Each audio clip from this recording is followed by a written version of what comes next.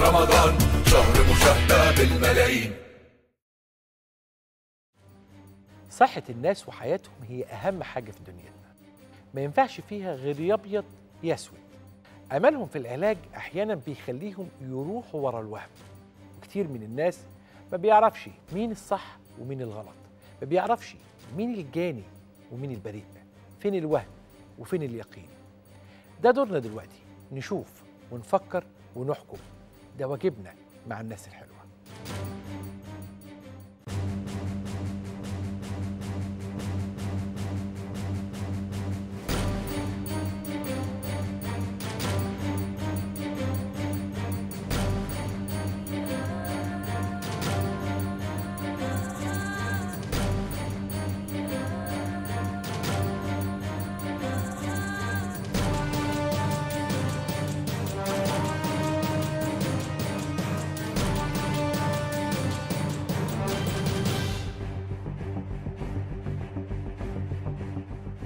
الدكتور هشام العزازي أستاذ علاج الألم التداخلي جامعة عين شمس.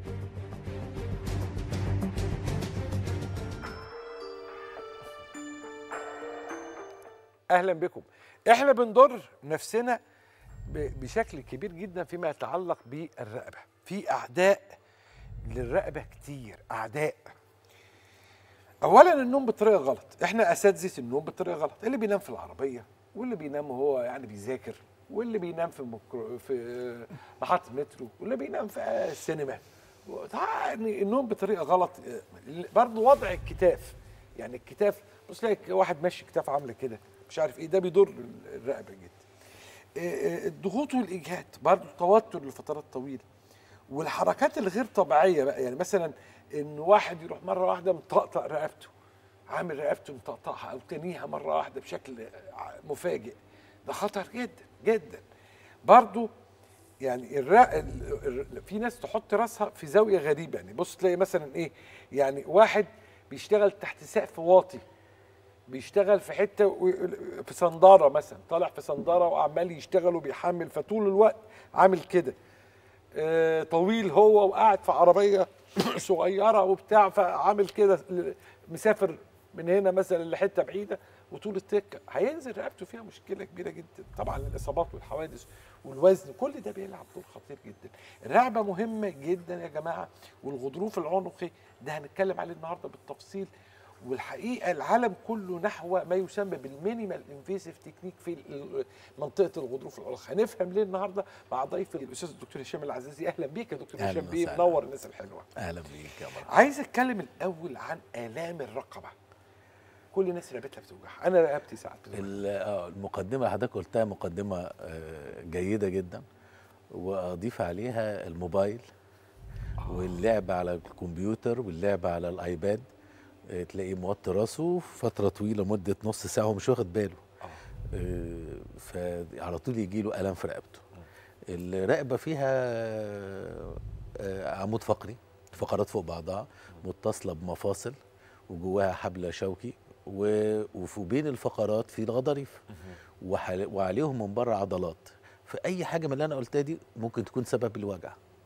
ممكن تبقى هي اللي بتوجع العيان. وربنا خلق أي مفصل في جسمنا إنه يعمل حركة متوسطة. يعني مثلا زي الصباع لو أنا عامل حركة زي كده مش هت... مش هتوجع. تخيل بقى أنت عامل الصباع كده لمدة مثلا نص ساعة. تيجي تيجي تتنيه هيوجعك. أو العكس اتنيه كده لمدة نص ساعة. تيجي تفرده هيوجعك. نفس الكلام في الرقبة. واحد منزل رقبته آه، بيلعب لعبة وحاطط وضع غلط أو نايم بالليل وبيقرأ كتاب فسند راسه على السرير الأوضاع الغلط دي زي ما أنت في المقدمة قلت يعني وضع حاجة لا خطيرة جدا. وبعدين هتعمل بقى الألم ما أنتش عارف الألم آه، بيجي منين. ممكن يجي في العضلات ممكن يجي من المفاصل ممكن من الغضروف. زائد بقى السن وال- وال- والعجز ال- والتآكل الشيخوخة يعني برضو بتصيب ال- الرقبة. وأخيرا تمارين بتتعمل غلط في الجيم في الرقبة تلاقي برضو بيشيل حاجة غلط. بيعمل تمرين آه، ويكون فيها سترين على رقبته وشد على رقبته يبقى فيها آه، خطأ إيه هو الغضروف العنقي له ليه خصوصية مختلفة شوية. زي ما قلنا الفقرات بينها غضاريف. الغضاريف دي آه، بيبقى أي غضروف ليه قلب من جوه وليه غطاء من بره. آه، لما بينشف الغضروف القلب ده حاجة جيلي طريه لما بتنشف يبتدي المسافات ما بين الفقرات تختلف والغضروف ده يبتدي يطلع ويضغط على الحبل الشوكي. يبتدي العيان يعاني من ألم في رقبته. الألم هنا بقى نوعين لأن ده يعني بنشوفها كتير جدا في أماكن الألم هنا مختلفة. أول مكان آه، بيبقى فيه الكتاف. فالعين مش شرط رقبته بس توجعه والكتاف آه، ليها توزيع للألم إحنا بنسميه ريفيرد بين أو الحيل بال- بالعربي. ال- الألم اللي موجود أنا ممكن يعني العين يجي يقول لك أنا أعلى ظهري بيوجعني. فأقول له والله لا ده أنت ده غضاريف في رقبتك آه، ده مفاصل رقبتك. فالجزء الأولاني هو مفاصل الرقبة. لو هي وجعته وحصل فيها خشونة أو التهاب هتعمل له الم في أسفل الرقبة. وساعات كمان لو كانت المفاصل العلوية تعمل له ألم في أعلى الرقبة ويقول لك أنا بيجي لي صداع خلفي كتير. والغضروف نفسه بقى لو داس على الأعصاب هيعمل ألم في الإيدين وتنميل في الإيدين. فالعين يجي يشتكي يقول لك والله أنا إيديا منملة آه، إيديا فيها ألم بتوزيعه معينة وليها رسمة إحنا بنقدر نعرف كل عصب بيغذي فين ومن وصف الم- المريض قبل ما أشوف الأشعة. أقدر أقول والله أنت الغضروف كذا هو اللي مأثر. ال- المفصل الفلاني هو اللي فيه المشكلة. فطبعا يعني حاجة يعني خطيرة إنها تتساب ولازم تتعالج يعني. إيه أسباب الإصابة بالغضروف؟ إنه بقى وضع غلط. آه. آه، موبايل ماسكه حادثة. غلط حادثة طبعا غلط آه ال- ال- ال- الشيخوخة الزمن آه يشيل حاجة غلط على راسه. يعمل زي ما تقول تمارين غلط يعمل اي في اي ستات وبرضه يعني في الشغل المعمار والحاجات دي كلها بيشيلوا فوق دماغهم آه طبعا هو ده أسباب آه. من ضمن الأسباب. آه ضمن الأسباب. إزاي نشخص الحالة دي؟ الوصف المرضي للمريض يجي يحكي يقول أنا مكان الألم كذا. اماكن الألم هنا بقى لو ال- المريض جاء ووصف يعني الصورة اللي شايفينها دي تديك أماكن الألم بتاعت مفاصل الرقبة. يشوف ممكن توصل للكتف يعني اللي يشوفها يقول لك إيه ده ده أنا ده كتفه اللي وجعه لا اللي وجعه هنا مفاصل رقبته هي اللي وجعاه.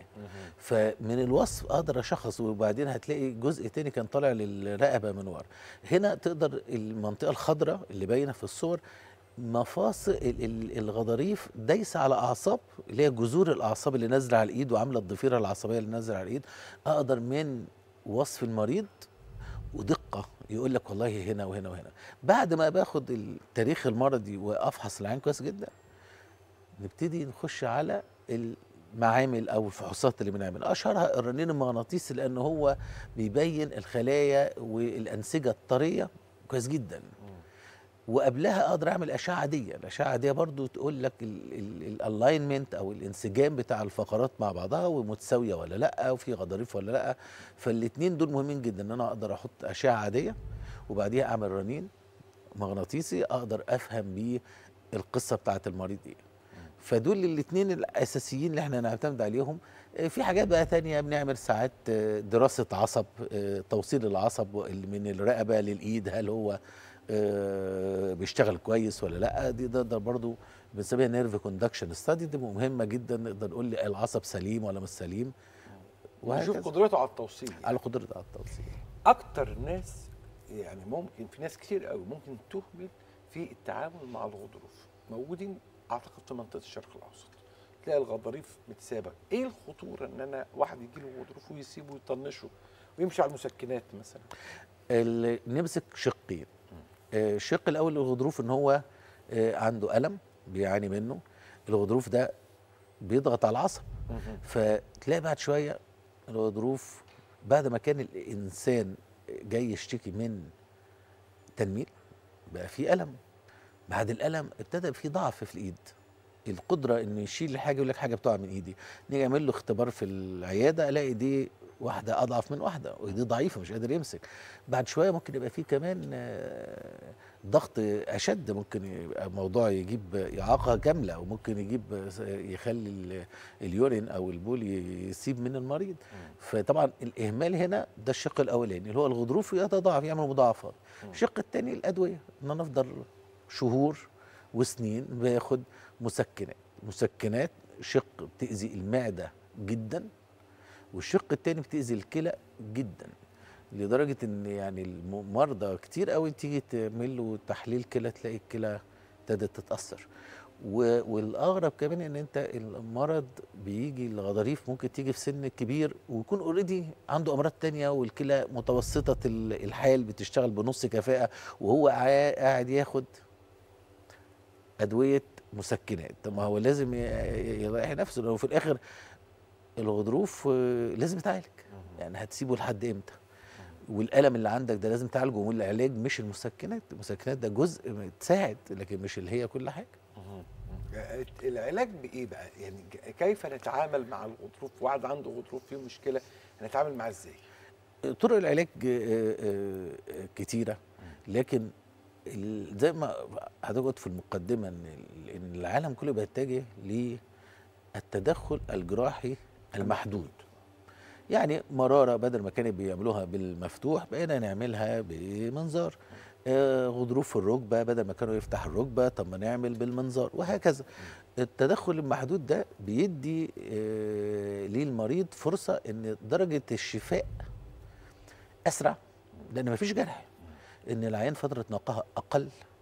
آه، رضا المريض بالعملية عامة تبقى أحسن المريض يقول لك ده أنا دخلت عملت عملية في نص ساعة وأنا صاحي فهنا دلوقتي الجديد في العلاج الغضروف العنقي آه إن نعمل تبخير للغضروف نحن ممكن نوصل للغضروف بإبرة تحت جهاز أشعة والجهاز ده بيصور الرقبة بالظبط وأقدر أحط الإبرة. يعني هنا الإبرة شايفها داخلة جوه الغضروف في المكان مظبوط تقدر بتطلع درجات حرارة معينة نقدر نا- ناكل قلب الغضروف فيبقى الغضروف مش ضاغط على العصب. وكمان سايبين الغلاف الخارجي بتاعه فعاملين زي نوع من أنواع ال support كده الصورة واضحة إن الغضروف الإبرة داخلة جوه الغضروف. كل اللي حضرتك شايفه ده المريض صاحي. واخد بنج موضعي زي بنج الأسنان بالظبط. المريض مش متضايق.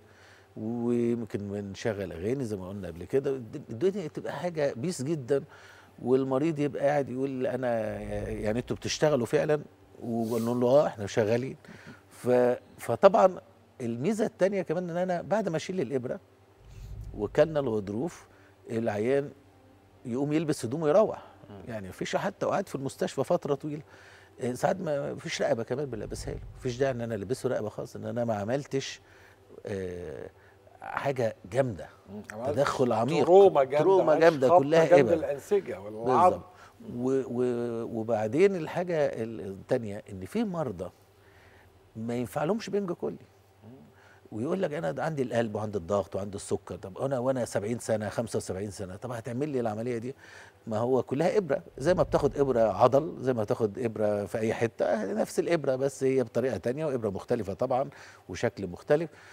فبتبقى إن المريض ينفع له التكنيك ده طبعا تنفع بسهولة جدا حتى مهما كان عمر المريض قد إيه وبتبقى المريض يخرج بعدها بنص ساعة يروح على أوضته ياكل حاجة يلبس هدوم يروح البيت. طب ما دي حاجة يعني رائعة. يعني مقارنة بالعمليات المفتوحة لكن بعض الأحيان لا. يجي المريض أقول له أنا ما بحبش دايما أظلم الجراحة لأن الجراحة برضو مهمة جدا. يجي المريض يقول لا بص أنت الغضروف اللي عندك ده عامل مشكلة أكبر من إنها تتعالج بالإبر وتت... وتتشخص كده. لا أنت لازم تعمل جراحة مفتوحة. وده وارد. يعني بقول لحضرتك هم الجراحة وال... والجراحة المحدودة أو التدخل المحدود بيكملوا بعض مش ضد بعض. خالص يعني. إيه الفرق بين التبخير والتردد الحراري؟ لأنه جرى دلوقتي كلمة التردد الحراري على ألسنة الكثيرين. نعم. ال ال ال التبخير هو سلاح أو إبرة صغيرة بنسميها سلاح لكن في النهاية هي إبرة بتخش لحد قلب الغضروف بجهاز التبخير وياكل قلب الغضروف فيبقى الغضروف ما فيهوش tension أو ما فيهوش pressure على ال- الأعصاب. التردد الحراري ده اللي هنا إحنا شايفينه ده تبخير. تبخير. آه. ده دي عملية تبخير إبرة داخلة ببساطة ببنج موضعي والعين صاحي التردد الحراري بقى الغضروف ده كان دايس على العصب فالعصب ده عامل ألم. طب ما أنا أوصل بإبرة تانية بجهاز تاني يطلع ذبذبات راديو. الذبذبات دي وجدوا إنها فعالة جدا إنها تشيل ألم العصب. فبقى كمان ممكن يتشال ألم العصب. والأهم بقى أكتر اللي هي كانت في الأول ال- ال- المشكلة إن الألم في الرقبة نتيجة الخشونة في المفاصل. طب ما المفصل ده علاجه إيه؟ كنا في الركبة ممكن أغير مفصل الركبة. طب في الرقبة أغير مفصل الرقبة إزاي؟ ما فيش حد هيغير مفصل الرقبة. فبندخل إبرة على العصب اللي رايح للمفاصل. اسميه عصب المفصل. والتردد الحراري هنا يخلي العصب ده مش موجود لمدة سنتين ثلاثة ممكن من سنة لاثنين لثلاثة والعين يبقى الألم ما فيش والميكانيكا بتاعت راسه حركتها سليمة ما فيهاش مشكلة خالص. فيبقى المريض مستغرب إن هو الألم راح ونوقف كل المسكنات. فطبعا ده بتبقى حاجة آه، يعني تقدم علمي رهيب. موجات الراديو دي بقى يستخدموها في حاجات كتيرة جدا. نستخدمها في أمراض الكبد. نستخدمها في أمراض الرحم أمراض آه، أورام في العظم. وابتدى بقى نفس ال- ال- الفكرة لكن بأجهزة تانية نستخدمها في علاج الأعصاب بشكل عام. فالتطور هنا في علاج الألم في السنين الأخيرة عشان تطور مع جهاز التردد الحراري. بقيت أقدر أوصل لأي عصب في الجسم ونعالج العصب ومش نموته.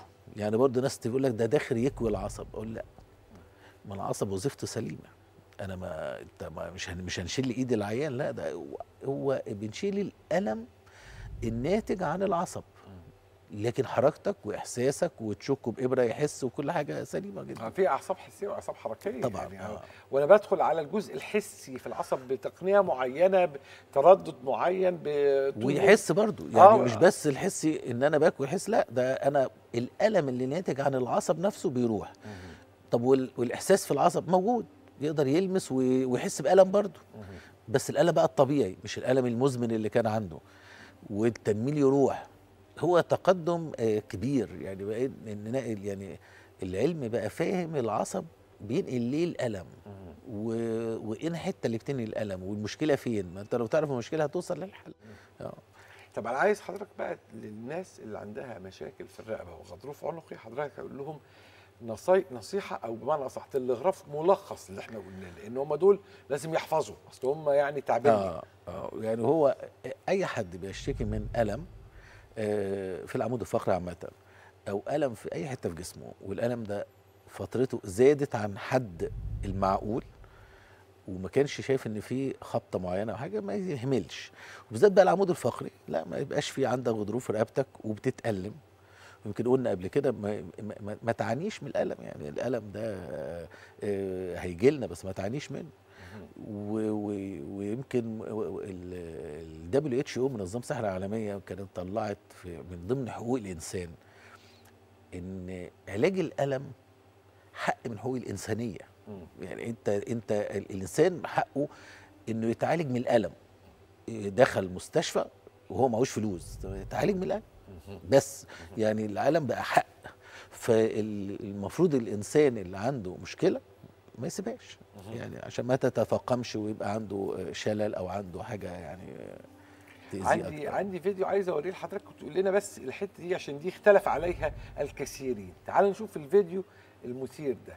ده الطقطقه آه. يعني يعني تقييمك للطقطقة ده ده يعني له عيادات دلوقتي بره له اماكن. محترفين بيعملوه دي عيادات آه. آه مفيش حد في مصر ما بيط... يعني يعني يعني كل واحد له حاجة بي... إما بيطقطق هي دي آه. اتعمل عليها دراسات وأثبتت انها ما بتعملش خشونه آه لا مش آه, آه. مش- طب الرقبة والحاجات اللي لا بس طبعا آه، حركة الرقبة العنيفة مم.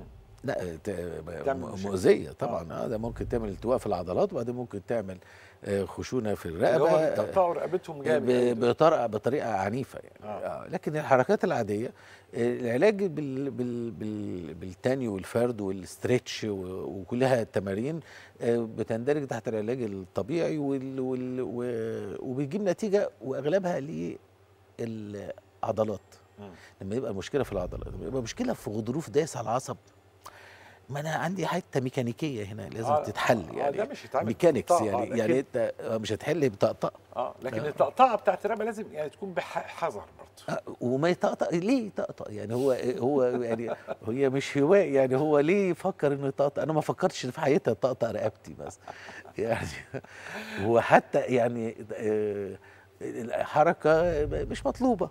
آه، يعني أي مفصل ما تعملش عليه سترين وشد زيادة عن اللازم خالص. آه، و- ولبس الرقبة في ناس تلبس الرقبه يبقى عنده وجع في رقبته هو زي ما بيعمل إيه الرقبة دي بتفكس بتعمل فيكسيشن أو تثبيت لل- للمفاصل بتاعت رقبته وبالتالي هو مش عامل كده. طب أنت مش هتحس بألم هو ده مش المطلوب أنا عاوزك تتحرك عادي.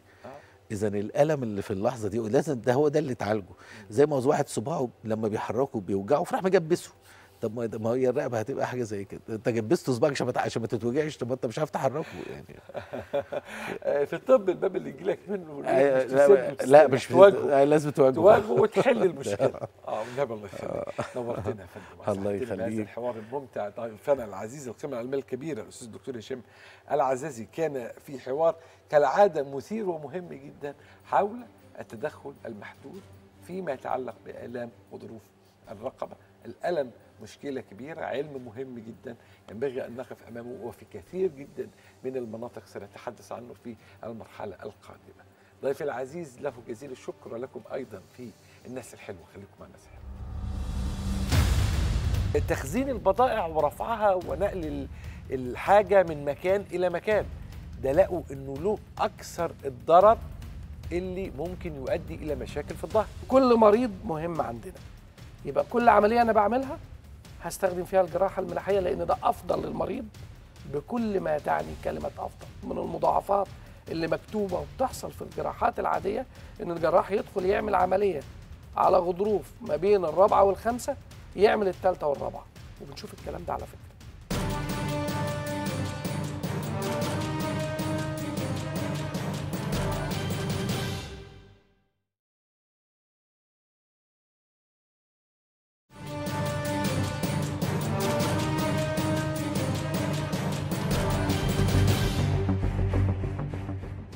الأستاذ الدكتور يسري الحميلي أستاذ واستشاري جراحات المخ والأعصاب والعمود الفقري. الأستاذ بكلية طب جامعة القاهرة مدير مستشفى نيورو سباين للجراحات المتخصصة.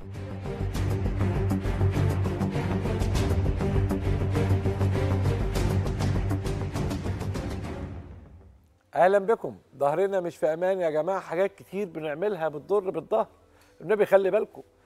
في حاجات في اليوم في أثناء اليوم إحنا بنعملها بتدمر الظهر بتبوظه خالص. لو عملناها غلط طبعا وهي طبيعتها كمان غلط. يعني مثلا من ضمن الحاجات استخدامات الموبايل.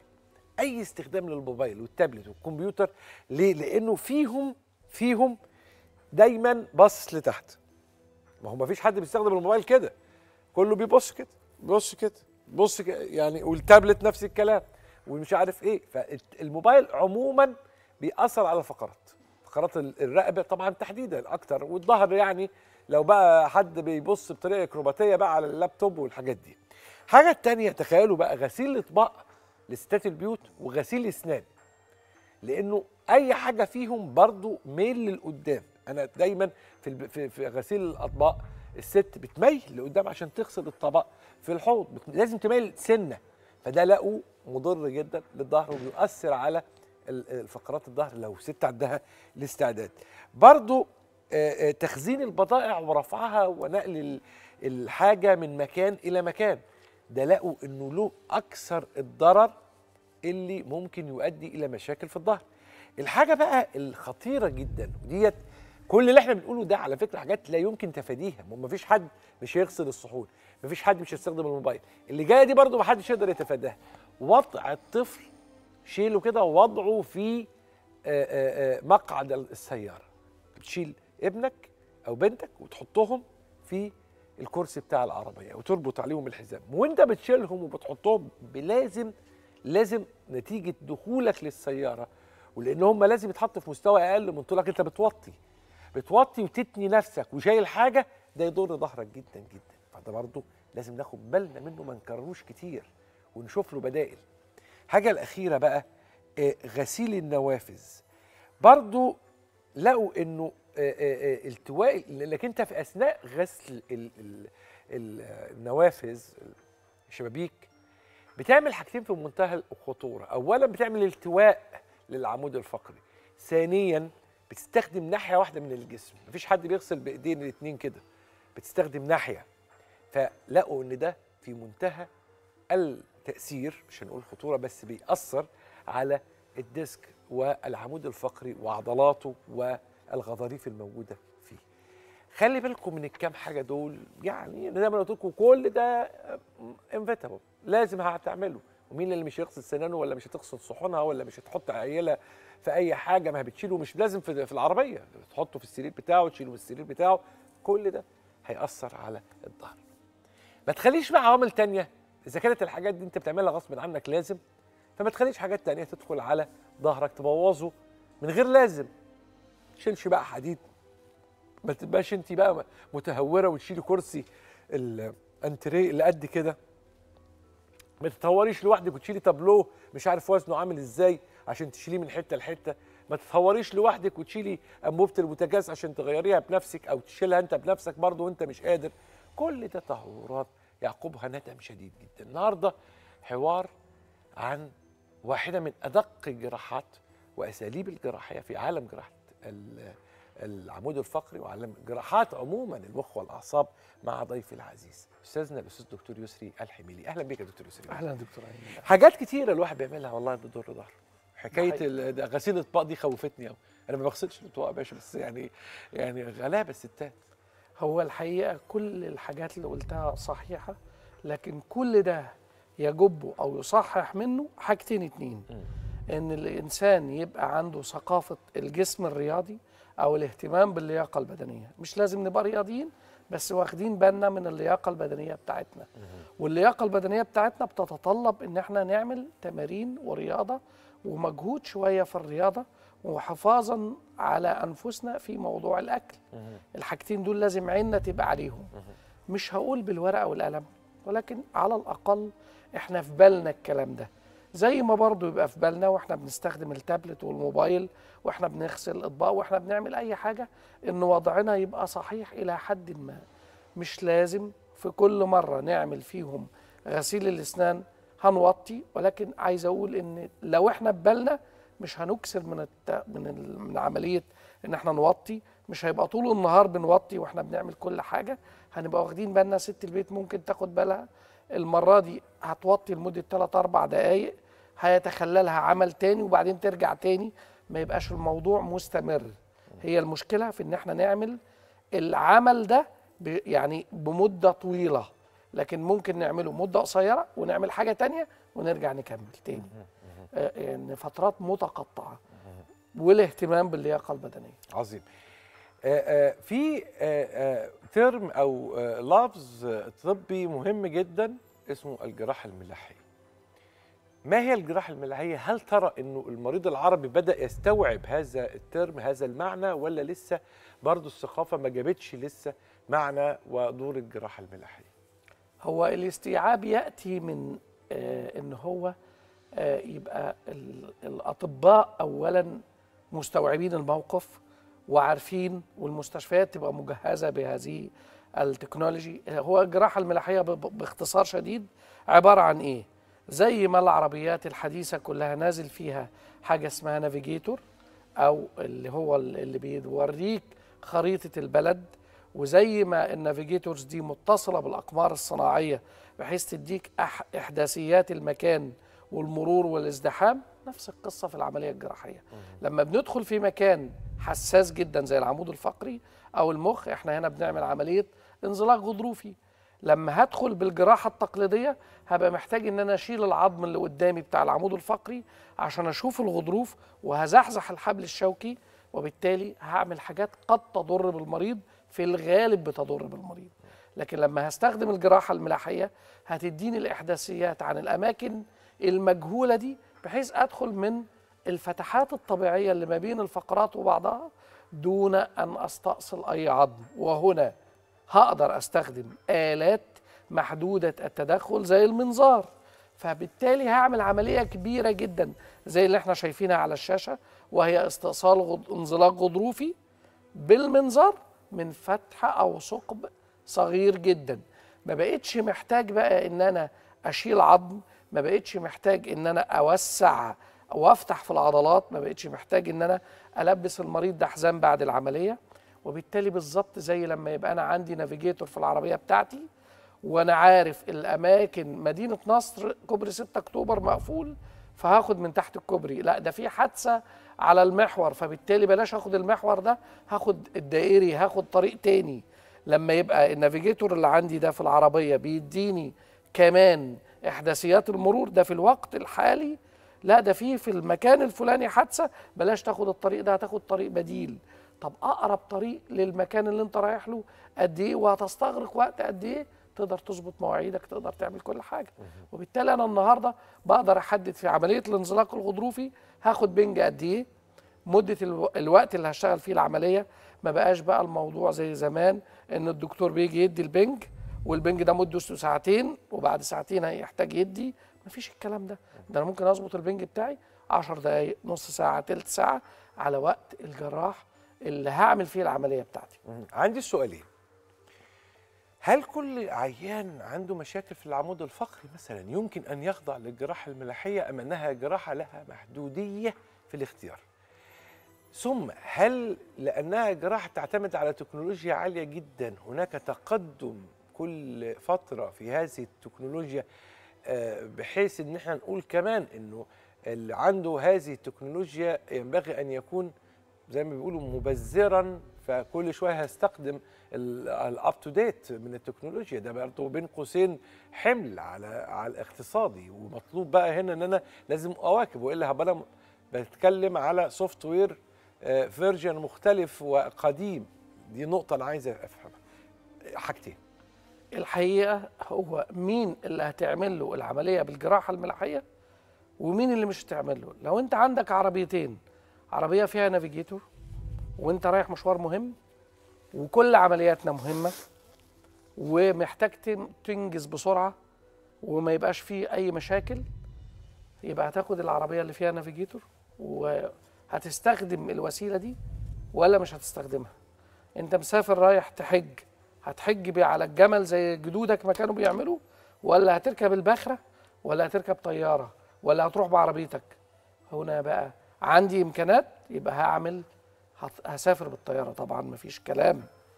آه بالتالي الجراحة الملاحية بالنسبة لنا هي مهمة في كل عملية. لأن كل مريض مهم عندنا. يبقى كل عملية أنا بعملها هستخدم فيها الجراحة الملاحية لأن ده أفضل للمريض بكل ما تعني كلمة أفضل. طيب آه هل آه زي ما تفضلت في السؤال الثاني بقى. التكنولوجيا بحتاج ان أنا اطور طبعا بحتاج ان أنا اطور. وعشان كده عملياتنا ما بتبقاش رخيصة. وللأسف أنا بقول الكلام ده. لكن أنت مضطر لأنك أنت بتعمل حاجة بتفيد المريض. ما أنا النهارده لما أعمل للمريض ده العملية وبعد ثلاث مش هنقول بعد أسبوع لأن معظم عيانينا بينزل يتحرك ويركب عربيته ويسوق عربيته هيرجع شغله بعد 10 أيام بعد أسبوعين. أنا وفرت للمريض ده لأني ما قعدتوش ثلاث شهور أجازة. وفرت له كتير قوي. وأهم من وفرت له إن أنا رجعته بشكل طبيعي يمارس حياته تماما. يبقى اللي دفعه الجزء البسيط اللي زاد عليه في تكاليف العملية هيغطيه في أكثر من شيء. وأهم حاجة إنه هيطلع في حالة صحية ممتازة تسمح له إنه يعمل كل حاجة. هيبقى بعمل تثبيت فقرات للمريض ومع ذلك المريض ده بيوطي ويصلي وممكن يلعب كورة ممكن يلعب أي رياضة هو عايزها. بالتالي يبقى أنا رجعت المريض بعد مشكلة انزلاق غضروفي أو بعد مشكلة تزحزح فقرات أو حتى بعد كسر في الفقرات إلى وضع طبيعي جدا. ناهيك بقى عن المرضى اللي بيجوا لنا عنده شلل عنده آه، مشاكل فظيعة جدا وأنت بترجعه إلى وضع طبيعي يبقى الموضوع يستحق.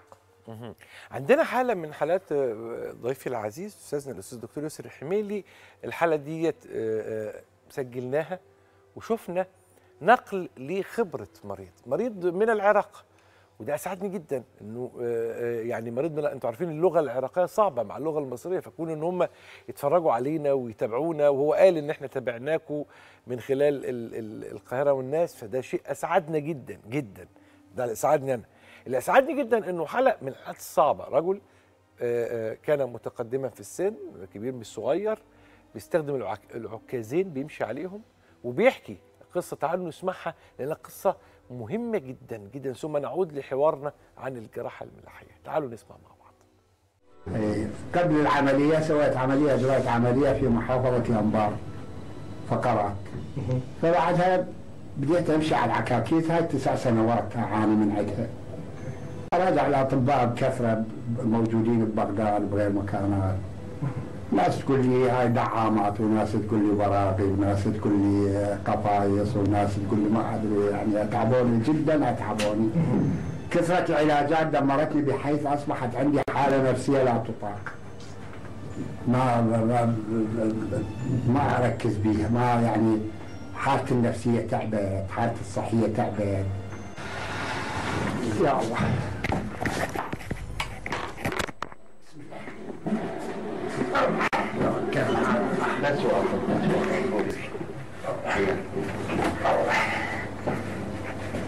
ما شاء الله.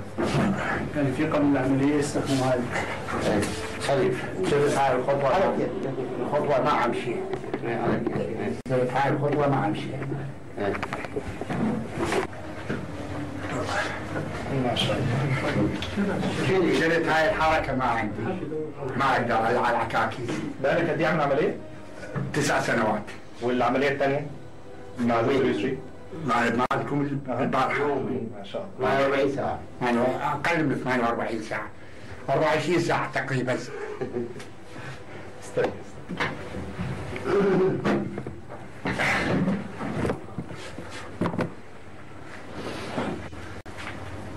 لأن اطلعت على على, البرنامج بتاعته شفت التشخيص ماله تشخيص كويس. وعمل عمل دقيق يعني عمل عمل صحيح ناجح. إيه مو مو اعتباطي ولا ولا عفوي. ده يشخص حالة المريض تشخيص جيد. أنا من خلال سمعي إلها آه، عرضوا علي أنا أروح لتركيا عرضوا علي أروح للهند. الحقيقة أسعدني جدا حوار آه، طبعا ضيفنا وضيف مصر العزيز لأنه إحنا في النهاية بنسعد جدا بالسياحة العلاجية بنسعد جدا ب آه، آه، أنا عايز نقف- أقول حاجة مهمة جدا آه. للإخوة العرب اللي بيسافروا الهند وبيروحوا هو قال تايلاند. تر- تركيا. وب- آه بيروحوا ال- الهند وتايلاند. على فكرة إحنا متقدمين جدا عن هذه البلاد. متقدمين بما لا يدع مجال للشك. في مجال جراحة المخ والأعصاب بقول لكل الإخوة العرب إحنا عندنا أحدث ما وصل إليه علم جراحة المخ والأعصاب والعمود الفقري وعندنا تحديدا في نيورو سباين أحدث الأجهزة كأنك سافرت ألمانيا. فليه ليه بتروح دول؟ يعني هي أقل مننا في المستوى وعندك حاجز لغوي وعندك وعندك وعندك. أنت بتتمتع في مصر بإستضافة عالية جدا. بإخوة بيقابلوك ما بتلاقيش حاجز لغة ما بتلاقيش صعوبات ما بتلاقيش مشاكل وبتلاقي أحدث التقنيات وده آه، مش الفيديو ده بس على فكرة اللي هيدخل على صفحة Neuro Spine على الفيسبوك هيلاقي أمثلة كثيرة جدا للإخوة العرب والمصريين كذلك اللي هتحفزهم إن هم آه، من فضلكم بطلوا تروحوا الهند وتروحوا تايلاند إحنا عندنا ال- اللي أحسن من ده بكتير جدا جدا. وما تروحوش تركيا. طبعا ده حقيقي. إحنا عندنا جراحين المخ والاعصاب ما شاء الله عاليين جدا و... وانت واحد منهم طبعا لكن في كم جراح جراحين مخ واعصاب كبير في موجود في مصر رائع للغاية. لكن خلينا نترجم ما قاله آه، شيخنا الجليل الراجل الجميل ال- العراقي. ربنا طبعا يرفع شأن العراق ويكفيها شر آه، ال- الدخلاء ويكفيها شر الفتنة. خلينا نروح للكلام اللي هو قاله. هو أجرى قبل كده عملية جراحية. حضرتك عملية. تلخص لنا الهيستوري بتاعه هو كان أجرى عملية من تسع سنين ومن تسع سنين ما بيقدرش يمشي بيمشي على عكازين بالعافية عشان يدخل حمام أو أو وكان عنده شلل في رجليه الاثنين سقوط تام في القدمين وما بيقدرش حتى بيستخدم العكاكيز مع آه، دعم من أحد أقاربه. وكان عنده ضعف كمان في حركة الإيد إيد بتتهز. أنا عملت له عمليتين. عملية انزلاق غضروفي عنقي وعملية انزلاق غضروفي قطني مرتجع وكان عنده التصاقات حوالين الحبل الشوكي. عملت له إزالة للالتصاقات وتوسيع للقناة العصبية وإزالة للغضروف المرتجع. وعايز أقول إن على فكرة من أكثر العمليات اللي بيبقى فيها تحدي العمليات المرتجعة. العمليات المرتجعة بيبقى فيها كل أنواع الطب على فكرة. وبنشوف فيها كتير بقى بشوف فيها العجب. يعني ممكن جدا. كان عندي مريضة آه، إيطالية. عملت لها العملية وهي كانت عاملة العملية في إيطاليا آه، ست شهور قبل أنا ما اعمل لها وست شهور تعبانة. ما فيش أي تحسن فخلاص آه، خلاص أقرت بقى إن إيطاليا مش هتبقى ما عملت لهاش اللي هي عايزاه برغم إنها بلدها. فلما جت مصر وأنا شفت الأشعة طلع إن الغضروف موجود ودخلت فعلا ولقيت الغضروف كما هو. لم يمسه الجراح اللي عمل عمل توسيع وساب الانزلاق الغضروفي. عايز أقول إن مصر يا جماعة من أعظم الدول والأطباء المصريين من أكفأ أطباء العالم وإحنا عندنا الأمثلة كثيرة جدا. ضيفي العزيز قدمت الكثير من الثقافه أشكرك شكرا جزيلا. شكرا. نورتنا دكتور بيه. شكرا جدا. ضيفي العزيز أستاذنا الأستاذ الدكتور يسر حميدي كان كالعادة مبدعا في حوار دقيق. كدقته في جراحات جراحات المخ والاعصاب حول الجراحه الملاحية. في الناس الحلوة خليكم مع الناس الحلوة. ويليام بروفت قال في كتابه طب تقويم الأسنان المعاصر قال مضمون مهم جدا إن المظهر له تأثير على الانطباع. الزراعة من أكتر أقسام طب الأسنان اللي استفادت من التكنولوجيا. خلينا مثلا نتفق ان إن وجود الأشعة ثلاثية الابعاد طفرة غير عادية في عالم التشخيص والزراعة وعامة في عالم التشخيص وعلاج العصب وفي الزراعة وفي الجراحة. أنا يهمني الشكل اللي تحت ده. شكله إيه؟ شكله معمول ولا شكله اسنان يعني لو إحنا خبينا اللي فوق ده خبينا إن دي الحاله قبل. هل الناس هتتخيل إن الأسنان اللي تحت دي أسنان معمولة ولا أسنان طبيعية فيها التفاصيل الطبيعية؟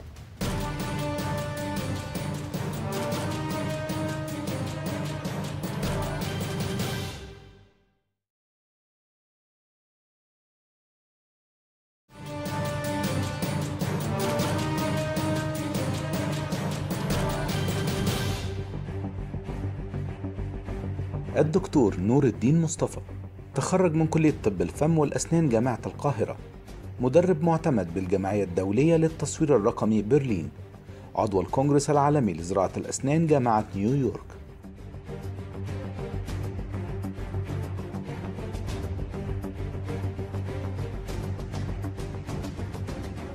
واحدة بعتها لك بتقول فرحي بعد أسبوعين. وعايز أعمل تجميل اسنان Hollywood smile زي ما بتقول تمام. هل الوقت كافي؟ كافي. حسب الحالة.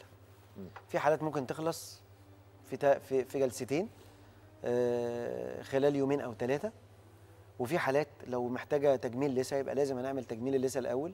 لو بليزر بس ممكن تخلص في أسبوع. لو آه، محتاجة جراحي أو إزالة في مشاكل في العظم نفسه هنعمل إزا يعني إزالة للعظم ريكونتور للعظم نفسه. لا دي ممكن تاخد أكتر من كده فحسب الحالة. يعني ما نقدرش نقرر غير لما بنشوف الحالة. في حالات بتاخد زي ما قلنا جلستين خلال ثلاث أيام في حالات بتاخد جلستين خلال أسبوع في حالات بتاخد شهر عشان تعمل تجميل. آه، واحد عنده السكر مريض سكر وعنده أسنانه الأمامية بتتلخلخ. واحدة وقعت نصح بتركيبات ثابتة. لكن. هو بيقول إنه آه، لما عملها لقاها بتؤلمه. التركيبات الثابتة. تمام.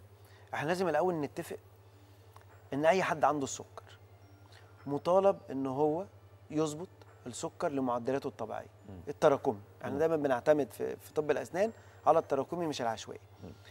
لأنك لو لو معدلات السكر مش مظبوطة سواء عملت سواء سنانك سلي سواء سنانك مش معمول لها تركيبات أو معمول لها تركيبات أو عملت زراعة هتعاني لأن السكر بيضر الأوعية الدموية والأعصاب. وإحنا أصلا الفم هو من أكتر الأماكن في جسمنا اللي فيها أوعية دموية. فأول ما بيحصل مشكلة الفم بيتأثر والعظم بيتأثر واللثة بتتأثر. فهيأثر على أي حاجة سواء سنانك سليمة سواء أنت عامل تركيبات ثابتة سواء زرعت. فلازم تحافظ على مستويات السكر للمستوى أو المعدل الطبيعي. دي نصيحتي لأي حد عنده سكر.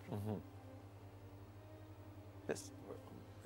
طب السؤال الحل إيه؟ الحل إن هو يظبط معدلات السكر ويروح لدكتور يعمل له أشعة يشوف المشكلة في إيه. هل المشكلة إن ال- التر- التركيبات ما ممكن تكون التركيبات معمولة غلط؟ أو التركيبات معمولة صح بس معدلات السكر بدأت تأذي اللثة وبدأت تأذي العظم اللي حواليها فبدأ لما بياكل بيحس بحمل أو بضغط على الأسنان فأنا شايف إن هو رقم واحد يعمل تحليل سكر تراكمي نشوف معدله إيه لو في مشاكل نظبطه نروح لدكتور أسنان نعمل أشعة نشوف المشكلة في التركيبات ولا المشكلة في الأنسجة الداعمة اللي حوالين التركيب. طيب بنت ست بتقول لك عندها طفلة تعاني من غمقان لون اللثه تمام. بنت ع- بس بنت عندها 10 سنين. تمام. هل ده بسبب الحلويات ولا في حاجة تانية هي اللي عاملة؟ لا هو لون اللثة ممكن يتغير بشكل وراثي أو عند بعض الناس نتيجة بعض العادات زي التدخين. في سن 10 سنين مش هنعمل لها حاجة. لما تكمل مثلا سن 16 18 سنة وفضل اللون ده موجود بنعمل لها حاجة اسمها بيلينج أو تقشير وده إجراء بقى في منتهى البساطة بيتعمل في ربع ساعة بالليزر وتقريبا الكيس بتخرج كأنها ما عملتش حاجة واللثه بيبقى شكلها طبيعي جدا.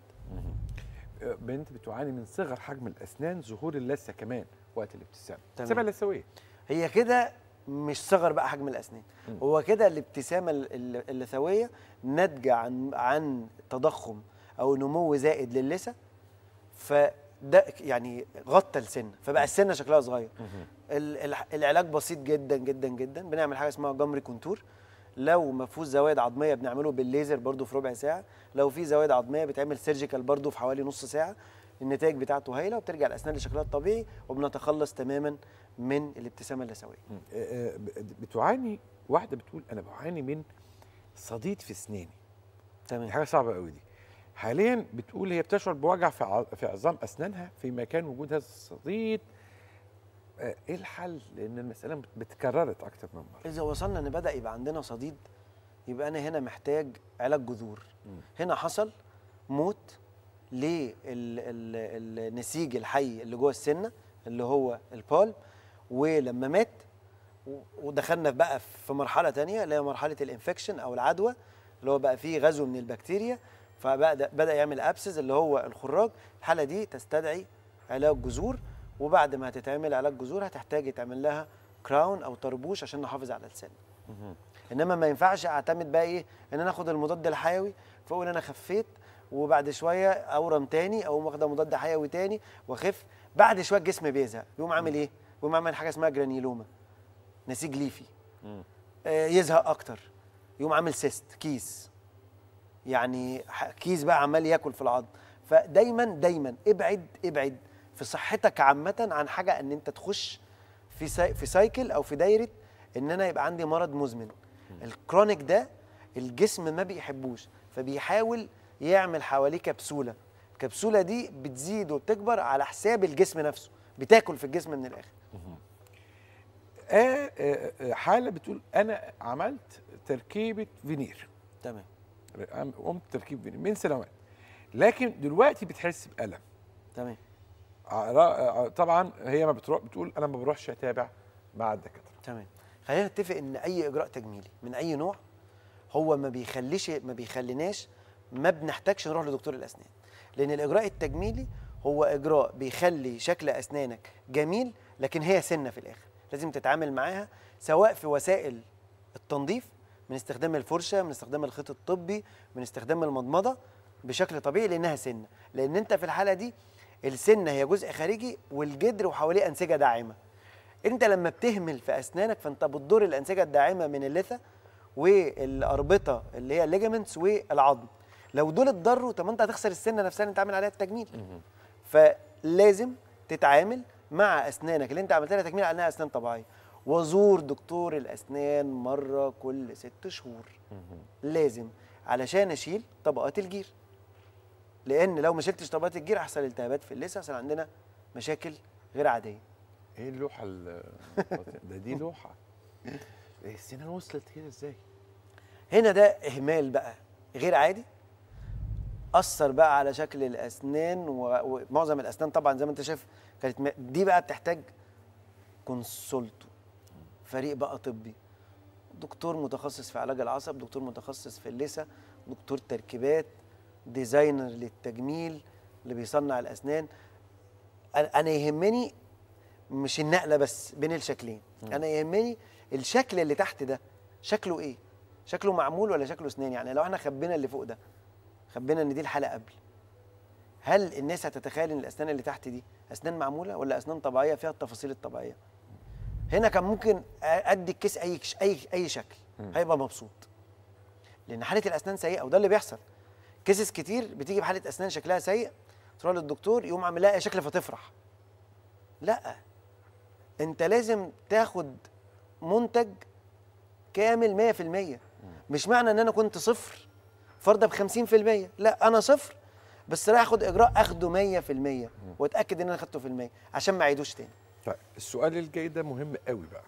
بنت بتقول أنا أنا آه، آه، تقريبا حاجة و20 سنة ظهر ليها فجأة سن في سقف الحلق حلق الفم.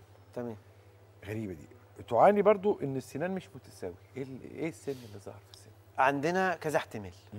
رقم واحد إن تكون السنة دي كانت مثلا زي الأنياب المطمورة أو المدفونة وجه وقت ونزلت فما لقيتش مكان ليها. فهتنزل فين؟ سقف الحلق هتنزل في سقف الحلق أو تنزل قدام أو تنزل تبقى خبطة في شفايفي. في الحاله دي أنا محتاج تقويم. في بعض الحالات بتبقى أسنان زايدة. في الحاله دي بتحتاج تتخلع. بس بما إن إن أنا عندي عدم تساوي في الأسنان يبقى أنا كده كده محتاج أعمل تقويم. بس هنشوف السنة. هل هي سنة أصلية محتاجة عشان تكمل عدد الأسنان بتاعي فهوسع لها وادخلها ضمن القرش أو ضمن رصة الأسنان بتاعتي ولا هي سنة زيادة هخلعها وهرص الأسنان بدونها. ده قرار دكتور التقويم. السؤال اللي جاي مهم قوي واحد بيقول لك أنا مش عارف أوقف السجاير. عنده اصفرار في أسنانه وبيسأل هل التبييض هو الحل الوحيد؟ وبعد ما بيض هل الصفار هيرجع تاني؟ خلينا نتفق ما دام واحد سموكر قوي كده وشره في التدخين لما بيجي بقول له لا ما تعملش تبييض أصلا. لا إما تغسل أسنانك عادي وتستعمل وتروح لدكتور كل ست شهور يشيل لك الجير ويعمل لك polishing خفيف لا إما تعمل فينير حل التبييض بالنسبة لك غير مناسب. لأنك هت- هتبيض النهارده بعد أسبوع سنانك هترجع تاني فأكيد مش هتبيض كل أسبوع. فبما إن إن أنت مش هتقدر تبطل تدخين لا إما تعمل الإجراءات العادية وخلاص تبقى راضي بلون الأسنان الأصفر أو تعمل veneers هل أنت من أنصار آه لبعض الحالات. حد إجابة دبلوماسية. آه لبعض يعني في بعض الحالات حد ما بيدخنش آه غير آه، مستهلك للقهوة بشكل شره حد عنده القدرة على تنظيف الأسنان والعناية بيها بشكل سليم. دول دول ينفعوا يعملوا تبييض وبيعيش وبيعيش سنين للحالات دي. مش عارف ليه حاسس إن التبييض بدأ ينحسر. أنا شايف إن هو آه، نوع من أنواع ال- التجميل. اللي ينفع بعض الحالات لأنه آه، تدخل بسيط جدا. لو هيجيب معايا نتيجة ودوام. غير كده يبقى ما لا أنصح بيه. ده انطباعي. ممكن يكون غلط عشان الناس اللي بتشتغل تبييض أو متخصصين في التبييض ممكن يزعلوا من كلامي ما أنا. بقول لك أنا أنا يعني أنا أعتمده كطريقة بس ل case selection. دايما دايما. في الطب دايما في الطب ال case selection أهم حاجة. بتقول عملت تركيبات آه، عملت زراعة قبل كده زراعة. وبتشد بتحس بالام شديدة في السنان. السؤال ده يعتبر متكرر. هل ده عيب في الزراعة؟ لازم نكشف. مم. لازم نكشف و... ولو أنا عندي مشكلة مع الدكتور ال- اللي أنا اشتغلت معاه آه، أدور على بقى متخصص أروح أكشف أشوف المشكلة. أصل ممكن أصل الناس ممكن تخلط. في ناس بتربط أحداث بأحداث. هي زرعت. وبعد خمس ست شهور حست بألم في المنطقة. ممكن يكون عندها ضرس تاني مسوس. أو ضرس تاني آه، واصل للعصب. فاحنا محتاجين نكشف عشان نقرر هل المشكلة في ال- ال- الزرعة اللي اتحطت ولا المشكلة حوالين ال- الزرعة. وده وارد. يعني مش شرط يكون كل حاجة إنها حصلت خطأ. بنت بتقول أنا بغسل سناني كويس جدا. وبنضفها مرتين في اليوم لكن عندي جير كتير. تمام. حاولت التنظيف بكل الطرق لكن اللثه بدأت كمان دلوقتي تؤلمني بشكل كبير. حلو قوي عشان دي معلومة خاطئة تماما. حد كده كل ما يجي يعني بعض الحالات أول ما تيجي العيادة ونقول لها حضرتك شلت جير آخر مرة إمتى؟ يقول لك من خمس سنين. أصل أنا يا دكتور بغسل سناني خمس مرات في اليوم. يغسل سنانك 20 مرة. الجير هي طبقة متكلسة. يعني طبقة صلبة بتتكون بين اللثة وبين جدر السنة. وبعد كده بتنتشر بتكبر. كل ما بتكبر هي بتكبر على حساب اللثة والعظم. يعني كل يوم هي بتزيد بتزيد على حساب اللثة والعظم. ما فيش حاجة بتشيلها ولا فرشة ولا مضمضة ولا ووتر جيت ولا فلوس يعني كل طرق التنظيف المعتمدة في البيت ما بتشيلهاش. الحاجة الوحيدة اللي بتشيلها أدوات معينة عند دكتور الأسنان. يعني حضرتك مهما كنت بت بت بتحافظ على على نظافة أسنانك وبتستعمل كل الطرق الطبيعية للتنظيف انت مطالب منك زيارة طبيب الأسنان لإزالة الجير مرة كل ست شهور. اللي هي بتشتكي منه بقى. إن هو بدأت تحس بالتهابات في اللثة. ده طبيعي جدا. تراكم جيري. الجير بدأ يعمل التهابات في اللثة. اللثة أول علامات الالتهاب هتلاقي أي حد كده عنده التهابات في اللثة يبقى عنده نسف. علامات الالتهاب النسف ال redness اللي هو الاحمرار وال hotness اللي هو ال- يبقى ال- الجزء آه، ساخن. فأول حاجة هتلاقي اللثة عندها. فيها احمرار شديد وبمجرد الضغط عليها حتى بدون اداه اداه يعني أي بدون أي اداه حاده بتحصل لها bleeding أو بيحصل لها نزيف. ال- اللي بعد ده هو انحسار للثه اللي بعده انحسار للعظم اللي بعده لخلخة الأسنان اللي بعده خلع الأسنان وهي سليمة. ده ده كده الطريق اللي هي واخداه. طب السؤال اللي جاي ده بقى حلو قوي بحبه قوي واحدة بتقول لك أنا عملت حشو عصب كويس؟ وركبت طربوش فوق حشو العصب. حلو. 100 فل. الطربوش وقع. جميل. سقط الطربوش. وسقط الطرف لماذا سقط الطربوش؟ مم. هل يجب إعادة الحشو مرة أخرى؟ إيه اللي حلو؟ حلو على فكرة. هل يجب إعادة الحشو مرة أخرى ولا لا؟ لأن دي معلومة ولماذا. سقط آه. الطربوش؟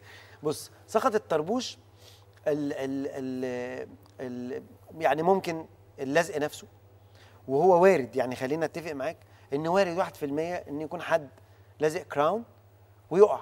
مم. تمام؟ اللزق حصل له مشكلة اتفك. أو أو نتيجة خطأ في التحضير إن يكون حضر السنة بشكل جائر فما بقاش فيه support من السنة نفسها فبقى ال crown سهل إنه يتخلع. طبعا اللي بيقرر هل حصل تحضير جائر ولا لأ هو دكتور متخصص. إنما وارد إن الطربوش يكون محضر صح وعامل cementation صح و1% يتفك. الغلط بقى إنه لما يتفك ما اروحش فورا للدكتور ألزقه لأن الناس متخيلة إيه؟ أنا هعين الطربوش ده بقى في جيبي كده أسبوعين ثلاثة وأروح للدكتور أبقى ألزقه. السنة اللي كان فيها الطربوش دي مجرد ما الطربوش بيقع وبيسيبها يوم أو يومين بيبدأ يحصل لها حركة. تبدأ تتحرك تقفل contact تقفل المسافة ما بينها وما بين السنان اللي جنبها وبتبدأ يحصل لها extrusion تبدأ تنزل وتقفل المسافة بينها وبين السنة اللي تحت. فتيجي تركب ال crown تيجي تعض عليه يبقى عالي جدا أو ما تعرفش تركبه أصلا. فمجرد إن ال crown وقع يبقى لازم أروح للدكتور عشان ألزقه على طول. ليه؟ لأن أنا لو قعدت كمان وأنا عامله علاج عصب لازم نفهم إن علاج العصب زي ما هو apical seal أو seal أو إحكام غلق من ناحية الجدر من تحت هو في حاجة كمان اسمها coronal seal أو إحكام للغلق من ناحية ال crown من فوق. فأنا لما ال crown يتخلع فأنا بعرض ال- الجزء اللي معمول له حشو العصب ان يخش له بكتيريا تاني فممكن يحصل فشل لعلاج العصب. كل ما قدمناه في طب الأسنان في السنوات الماضية كان من أجل الثقافة. نحن نريد أن نثقف العالم العربي نثقف العالم العربي في أهمية الاعتناء باسنان أيضا من ضمن أهدافنا المهمة إن إحنا أبرزنا مهارة الطبيب المصري وده هدف للبرنامج في كل برانشاته. الطبيب المصري ده إحنا بندافع عنه بندافع عن قيمته بندافع عن مهارته بندافع عن إمكانياته بندافع عن اجتهاده بندافع عن أسمائه. صحيح إن إحنا ما نقدرش نطلع ال 150 ولا 170 ألف طبيب مصري نتمنى إنهم يطلعوا معانا كلهم. فإحنا بنطلع ريبريزنتيف أو معبرين عن الثقافة والتعبير عن قوة الطب المصري دول أهدافنا الحقيقية. يبقى إنه ده يتقبل بشكل جيد جدا في العقلية العربية. ضيفي العزيز صديقي العزيز والزميل العزيز وزي ما قلت عشره العمر الاستاذ دكتور نور الدين مصطفى. نورتنا دكتور نور وش- نورتنا. وشرفتوا بيك يا بهذه. الزيارة. خليكم دايما معنا سعيد